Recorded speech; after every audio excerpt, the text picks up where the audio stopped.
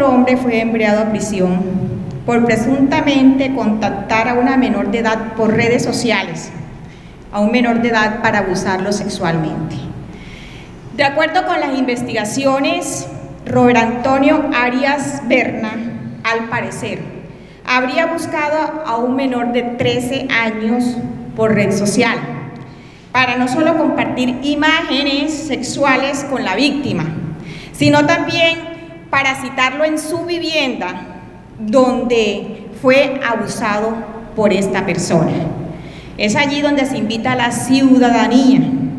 a tener ese contacto directo con nuestros niños, niñas, adolescentes,